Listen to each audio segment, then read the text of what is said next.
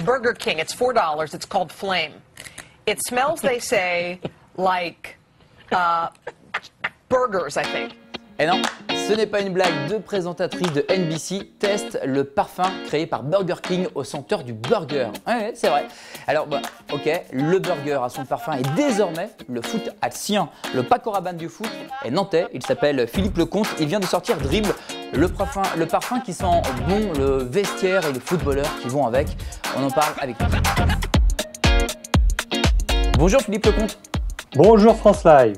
Alors, vous avez 53 ans, vous êtes nantais, vous vivez entre Nantes et euh, l'Amérique du Sud. Vous avez eu l'idée de créer votre parfum Dribble en voyageant avec une, personne euh, qui travaille dans les cosmétiques. Alors, d'une, pourquoi le foot?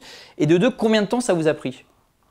Alors, pourquoi le foot? Bah, Simplement parce que l'Amérique du Sud, c'est quand même euh, un continent qui se dédie au foot.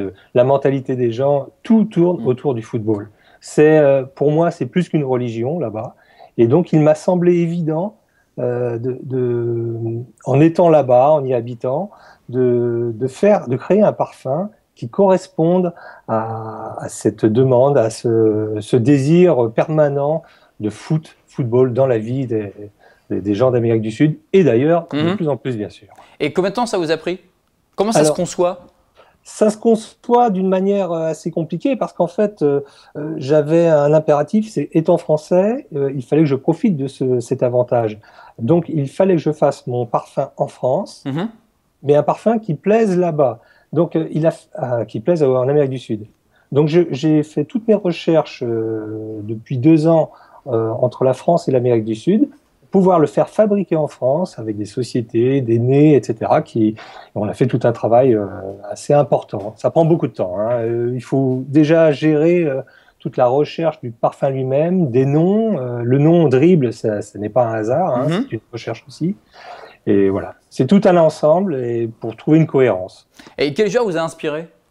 Ah, bah alors écoutez, j'étais au Brésil.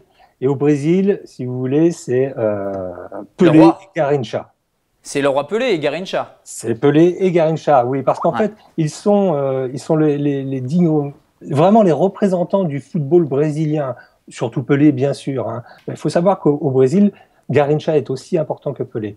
Et euh, c'était ces années 50, 60, euh, c'était la folie du, du, footballeur brésilien.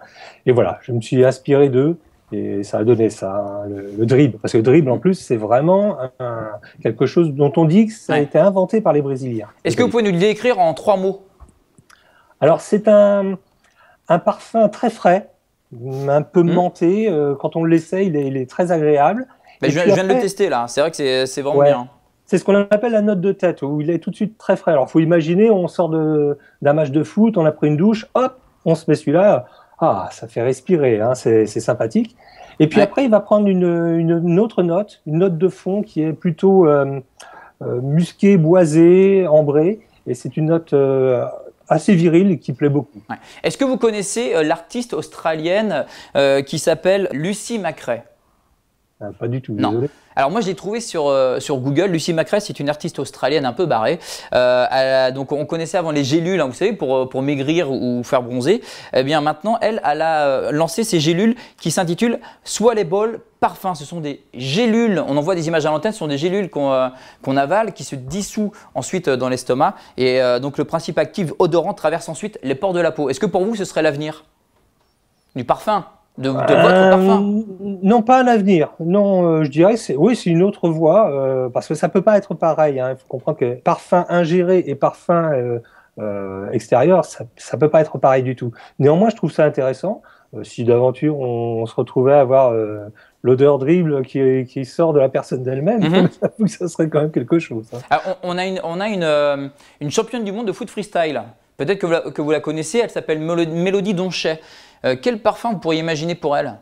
Alors, euh, je, justement, je m'intéresse à ça de plus en plus parce que le parfum féminin euh, prend une ampleur importante. Parce qu'on rappelle quand même que le parfum dribble ne s'adresse qu'aux hommes. Hein. C'est exact. Il, a, il a un effet quand même pour hommes. Quoique, il faut savoir qu'en Amérique du Sud, les femmes prennent les, parfums masculins. Bon, cela dit, c'est vrai que ça, fait partie de, de, de, ce que je pense faire. Un parfum football destiné aux femmes. Le foot, ok. le basket, le hand pour bientôt? Et oui, euh, je, bon, je ne le cache pas, qu'en choisissant le nom dribble, j'avais en tête plusieurs choses. Donc, après le foot, il y a, comme vous le dites, le basket, le Mhm. handball, et je dirais même euh, le hockey, si je voulais. Avec du dribble, on peut passer un peu partout. Ah bien, c'est ce que je vous souhaite. Merci Philippe Lecomte. Donc, euh, votre parfum dribble au centre du football. Toutes les adresses pour vous le procurer sont bien sûr sur votre site internet.